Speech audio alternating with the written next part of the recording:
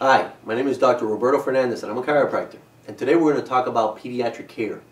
See, many times people have stereotyped chiropractic in thinking that chiropractic is only about neck pain and only about back pain. The question that people don't realize is that a 40 year old that enters my office with neck pain may be showing me a problem that started when he was a child. It would be a lot easier to find these problems in children and help prevent them rather than waiting for the person to grow up. Let me run you through something really quick. Imagine that this was actually mom. This is actually dad, but you can't tell at this point. And what's going to happen naturally is mom's carrying baby between baby liquid and everything. She's throwing on 30 pounds. What's going to eventually happen is this bone right here, the pubis, is going to separate, allowing the baby to feed into the canal. The sacrum, which is the bone in the back, will back out of position. And when mom is ready to deliver, this baby will come down through that canal with the assistance of gravity. This will be a normal delivery. What do they do in this country?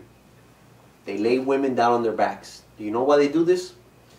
It's the most comfortable position for the doctor. The worst thing a woman should be doing is laying down on her back when she's about to give birth. The weight of the baby will push down the lumbar spine. The sacrum will be blocked up against the table, and the baby's going to come out up and against gravity rather than down and with gravity. Is this going to be easier? Or is it going to be harder? Obviously harder. Is it going to hurt more? Is it going to hurt less? Obviously more. How do we solve that? We come up with a beautiful drug called an epidural, and they're going to inject mom with this epidural. They're going to numb her out from the waist down so she feels nothing. She also stops feeling the contractions. No problem. We come up with another drug. We're going to inject mom with something called Pitocin, and we're going to make her contractions about two to three times stronger than they normally would have been. Who's going to feel those contractions? Baby. As baby's head's coming out with all these contractions, the doctor's going to grab the baby's head, and he's going to pull on that baby's head, maybe eight, maybe anywhere from 10 to 20 pounds. The shoulder is going to get blocked from the sacrum. The doctor will turn the baby's head to get that shoulder loose from the canal.